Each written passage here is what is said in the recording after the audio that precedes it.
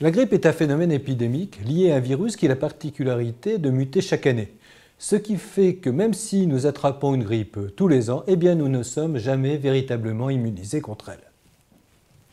Certaines années, les virus sont plus ou moins méchants, ce qui explique que les grippes seront plus ou moins sévères.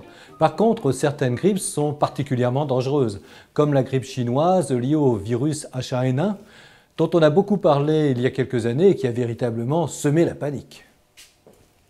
Par contre, même les moins sévères tuent chaque année quelques dizaines de personnes en France, et notamment des personnes fragilisées par l'âge ou par l'existence d'affections respiratoires sévères. Pour se protéger, il faut que vos défenses immunitaires euh, soient en bon état.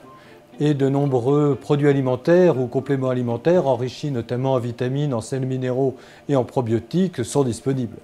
Des travaux de plus en plus nombreux tendent à montrer qu'ils sont efficaces pour diminuer la fatigue et prévenir les infections hivernales. Mais le principe de base reste la vaccination, surtout si vous êtes une personne fragile, mais aussi si vous êtes amené à rencontrer régulièrement des personnes fragiles.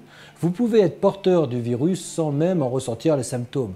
Alors suivez mon conseil, faites-vous vacciner, sinon pour vous, au moins pour ceux qui vous entourent.